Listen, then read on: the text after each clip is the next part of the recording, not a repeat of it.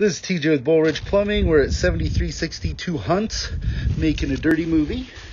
I'm currently 84 feet out, and I've lost all my push. I can't go any further.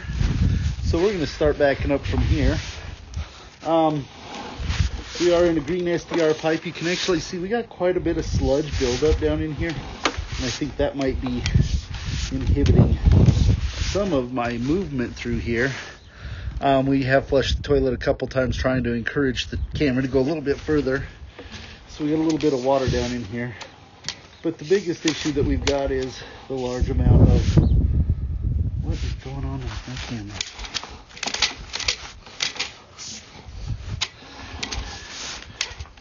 This might be our city tab right here, but I can't see because I just lost visual. You want to go flush again, please? Okay, we're back kind of pushed it back out again. Um, right here is our tap into the city. This is where we drop in right here. And then we come on back. Once again, we had to flush so that I could get that stuff off the lens so we could see. Um, we will take this video back and we'll view it on the big screen at the office. I, uh, am looking at it on my phone and we've got some nice bright sun today, so visually it's almost impossible to see what I'm looking at. I do know we're in a green SDR pipe. We got a little bit of water trickling down and we're cruising on back here.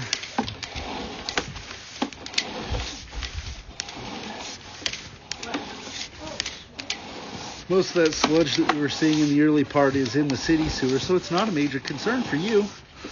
Um, right here, we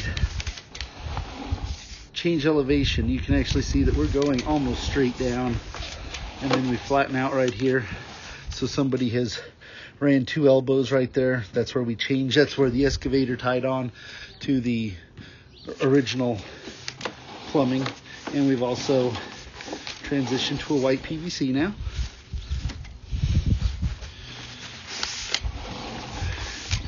Everything's looking pretty good back here pretty boring sewer. And then right here, we're gonna turn, we're gonna come up our clean out here in the front yard.